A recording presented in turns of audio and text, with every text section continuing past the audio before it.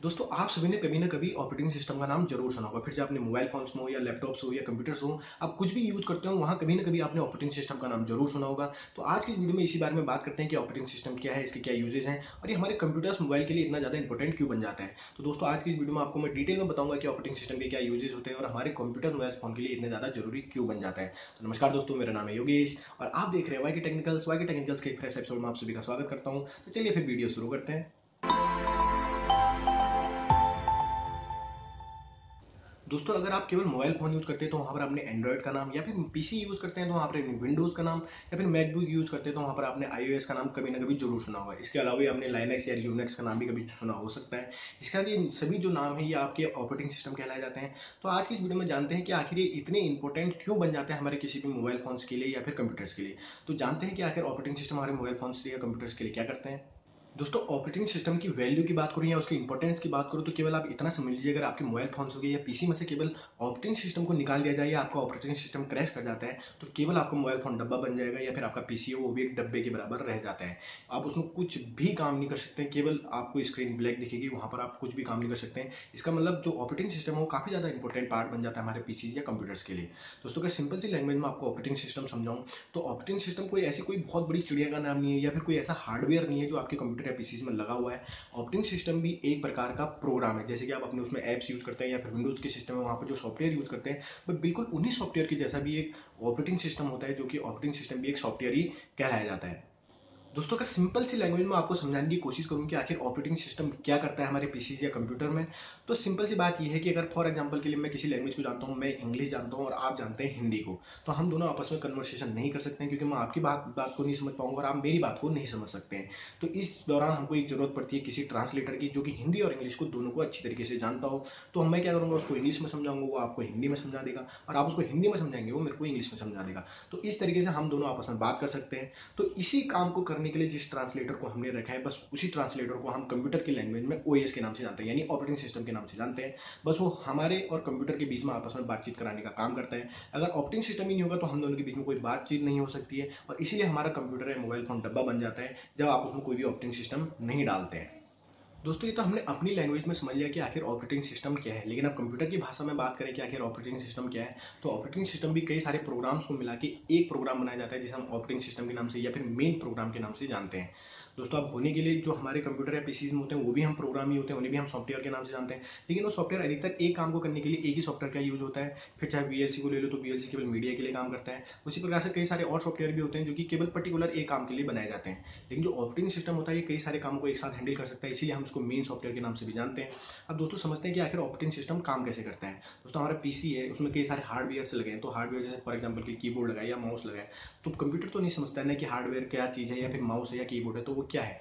तो जब हम उसके थ्रू कोई भी कंप्यूटर को एंटर एंटर करते हैं या फिर उसको कोई भी कमांड देते हैं, इस कमांड को समझ के जो आउटपुट देता है और इस आउटपुट को देने में और करने में जो मदद करता है, उसे हम ऑपरेटिंग सिस्टम के नाम से जानते हैं। वही ट्रांसलेटर जो कि हम दोनों के बीच में कन्वर्सेशन करा लेता है। जब हम लैंग्वेज वाला जो मैंने आपको एग्ज़ाम्पल दिया था तो उस बीच में जो ट्रांसलेटर था उसी ट्रांसलेटर के जैसे कंप्यूटर के जो हार्डवेयर है, यानी हार्डवेयर को तो हम ही यूज़ करते हैं ना हार्डवेयर ऑटोमेटिकली अपने आप तो यूज़ नहीं होता है।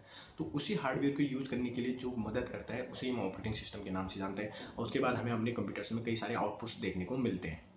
दोस्तों, एक छोटा सा और एग्जांपल देके आपको समझाना चाहता हूँ कि आखिर ऑपरेटिंग सिस्टम क्या होता है। दोस्तों फॉर एग्जांपल के लिए क्लास है तो क्लास को हैंडल करने के लिए जैसे क्लास में एक मॉनिटर होता है तो बिल्कुल उसी तरीके से कंप्यूटर है तो कंप्यूटर में भी कई सारे एप्लीकेशन कई सारे सॉफ्टवेयर और कई सारे काम होते हैं जिनको हैंडल करने के लिए हम ऑपरेटिंग सिस्टम को रखते हैं। अगर फॉर एग्ज़ाम्पल के लिए मान लीजिए कि ऑपरेटिंग सिस्टम नहीं है तो कंप्यूटर में तो फ़िलहाल के लिए अगर ऑपरेटिंग सिस्टम नहीं है तो आपका कंप्यूटर बिल्कुल ही डंप हो जाएगा। लेकिन अगर क्लास में मॉनिटर नहीं है तो उसमें क्या होता है कि क्लास के बच्चे हुड़दंगबाजी करने लग जाते हैं, कोई क्या कर रहा है, कोई क्या कर रहा है। तो उसी चीज़ को संभालने के लिए क्लास में मॉनिटर बनाया जाता है, बिल्कुल उसी तरीके से हम कंप्यूटर में ऑपरेटिंग सिस्टम का यूज़ करते हैं, जिससे कि किसी भी प्रोग्राम में, किसी भी एप्लीकेशन को चलाने में कोई भी दिक्कत ना आए। और ऑपरेटिंग सिस्टम ही होता है जो कि किसी भी प्रोग्राम या एप्लीकेशन को दोबारा से चलाने के लिए तैयार करता है। फॉर एग्ज़ाम्पल आपको ये कन्फ्यूज़न पैदा होता है कि आखिर ऑपरेटिंग खुद एक सॉफ्टवेयर है, फिर वो किसी और सॉफ्टवेयर को कैसे चला सकता है? लेकिन ऑपरेटिंग सिस्टम एक मेन सॉफ्टवेयर होता है जो कि सिस्टम को ही ऑपरेट करता है तो उस ऑपरेशन के दौरान ही अगर हमें किसी और सॉफ्टवेयर की ज़रूरत पड़ती है फॉर एग्ज़ाम्पल के लिए हमें मीडिया चाहिए तो मीडिया के लिए हम बी का यूज़ करते हैं, हमें डॉक्यूमेंट चाहिए तो डॉक्यूमेंट्स के लिए हम एम एस वर्ड का यूज़ करते हैं। तो ये छोटे प्रोग्राम्स होते हैं जिन छोटे प्रोग्राम्स को हैंडल करने के लिए ऑपरेटिंग सिस्टम कैपेबल होता है और वो किसी भी सिस्टम सॉफ्टवेयर को रन कर सकता है। दोस्तों, अब बात आती है कि अगर ऑपरेटिंग सिस्टम ना हो तो हमारे मोबाइल फ़ोन या कंप्यूटर से डब्बा क्यों बन जाते हैं? दोस्तों, जैसे कि मैं आपको समझा चुका हूँ कि ऑपरेटिंग सिस्टम मतलब एक मेन सॉफ्टवेयर है जो कि बाकी सॉफ्टवेयर को चलाने में भी हमारी मदद करता है। तो फॉर एग्ज़ाम्पल बात करिए मेन चीज़ ही हमारे पास नहीं है तो बाकी चीज़ें हम कैसे रन करा सकते हैं?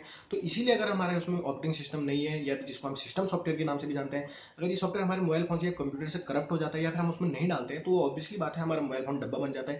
क्योंकि फिर बाकी किसी चीज़ को भी रन नहीं कर सकता है, क्योंकि बाकी चीज़ें भी सारी सॉफ्टवेयर ही होती हैं, जिनको रन कराने के लिए हमें ऑब्वियसली बात है ऑपरेटिंग सिस्टम की ज़रूरत पड़ती है। और हर ऑपरेटिंग सिस्टम के लिए हर प्रकार के अलग अलग ऐप्स आते हैं। फॉर एग्ज़ाम्पल एंड्रॉइड्स के लिए हमें अलग ऐप्स या अलग सॉफ्टवेयर देखने को मिलता है। फिर चाहे विंडोज़ के लिए हो तो वहाँ हमको अलग सॉफ्टवेयर देखने को मिलते हैं। वैसे ही आई के लिए बात करो तो वहाँ आपको अलग सॉफ्टवेयर देखने को मिलते हैं। तो हर ऑपरेटिंग सिस्टम के हिसाब से हमारे सॉफ्टवेयर भी अलग अलग बदलते जाते हैं। तो दोस्तों, मैं आशा करता हूँ कि आप समझ गए होंगे कि ऑपरेटिंग सिस्टम क्या है साथ ही साथ इसका क्या यूजेज हैं और इसके बिना हमारे मोबाइल फ़ोन या कंप्यूटर डब्बा क्यों बन जाते हैं। लेकिन दोस्तों ऑपरेटिंग सिस्टम का काम केवल इतना नहीं है कि वो यूज़र्स यानी हमारे और डिवाइस के बीच में कन्वर्सेशनर का काम कराए। केवल इसके अलावा ये ऑपरेटिंग सिस्टम के कई और सारे काम होते हैं जो कि इन सिस्टम के अंदर से होते हैं, जो कि हमें दिखाई नहीं देते हैं और जो कि ऑपरेटिंग सिस्टम इन कामों को करते रहता है। दोस्तों ऑपरेटिंग सिस्टम की अदर वर्क की बात करूँ तो यहाँ पर भी उसके कई सारे हमें काम देखने को मिल जाते हैं। सबसे पहला काम वहीं से स्टार्ट हो जाता है जब आप अपने कंप्यूटर को बूट करते हैं। तो बूट के दौरान ये एरर डिटेक्ट करना शुरू कर देता है कि आपके पीसी या कंप्यूटर में कोई दिक्कत तो नहीं आ रही है? रैम वगैरह सब ठीक ठाक से लगा हुआ है नहीं लगा अगर कोई भी दिक्कत होती है, आपको डिटेक्ट करके बता देता है कि आपके पीसी या कंप्यूटर में ये दिक्कत आ रही है। इसी साथ मेमोरी लोकेशन और मेमोरी एलोकेशन भी ओएस का ही काम होता है। अभी मेमोरी लोकेशन और एलोकेशन क्या है, इसके बारे में मैं किसी और वीडियो में बात करूँगा। इसी साथ मेमोरी का मैनेजमेंट करना भी ऑपरेटिंग सिस्टम का काम होता है एरर डिटेक्ट करना होता है। इसके अलावा आपके कंप्यूटर या पीसी की पूरी सिक्योरिटी की ज़िम्मेदारी भी ऑपरेटिंग सिस्टम के पास होती है। दोस्तों, होने के लिए अब हम सिक्योरिटी के लिए एंटीवायरस का भी यूज़ करने लगे हैं, लेकिन अगर आप नॉर्मली एंटीवायरस का यूज़ नहीं करते हैं, फिर भी आपका कंप्यूटर काफ़ी हद तक सिक्योर रहता है, क्योंकि ऑपरेटिंग सिस्टम खुद भी एक एंटीवायरस है, जो कि आपके कंप्यूटर को सिक्योर रखता है। इसके अलावा हमें कई सारे डिवाइस मैनेजमेंट को देखना है डिवाइस हम कई कई प्रकार के अपने कंप्यूटर से एक्सटर्नल डिवाइसेस को जोड़ते हैं, उन सभी डिवाइसेज को मैनेजमेंट करना है, या फिर कोई भी एरर डिटेक्ट करना हो गया, और सबसे जो मेन काम होता है, यूज़र और सॉफ्टवेयर के बीच में तालमेल बनाना, ये काम तो वो अच्छी तरीके से हैंडल करता ही है। दोस्तों, इसके अलावा ऑपरेटिंग सिस्टम प्रोसेसर मैनेजमेंट है, यानी प्रोसेसर को भी किस तरीके से काम कराना है या फिर मल्टीटास्किंग मल्टी प्रोग्रामिंग जैसे और कई सारे भी काम कराता है। लेकिन इन सभी टॉपिक्स के बारे में मैं अलग से वीडियो बनाऊँगा, जिसमें मैं बताऊँगा कि ऑपरेटिंग सिस्टम के अलग और क्या क्या काम होते हैं, जिनको वो करता है और जो कि काफ़ी ज़्यादा ज़रूरी होते हैं। दोस्तों, आज की वीडियो में मैंने जिस भी टॉपिक के बारे में आपको समझा था, जो कि मेन काम है एक ऑपरेटिंग सिस्टम का यूज़र के बीच में और डिवाइस के बीच में कन्वर्सेशनर का काम, वो तो अच्छी तरीके से निभाता है और आशा करता हूँ कि आप भी समझ गए होंगे कि किस तरीके से काम करता है। लेकिन आपका कोई भी डाउट हो तो आप नीचे कमेंट बॉक्स में लिख के पूछ सकते हैं। मैं कोशिश करूँगा कि आपको उसका जवाब दे सकूँ इसके साथ इसी तरीके के वीडियो देखने के लिए चैनल को सब्सक्राइब कर लीजिए और आशा करता हूँ कि आज की मेरी वीडियो आपको पसंद आई होगी। वीडियो देखने के लिए आपका बहुत बहुत धन्यवाद और आप सभी जानते ही हैं। I really appreciate your time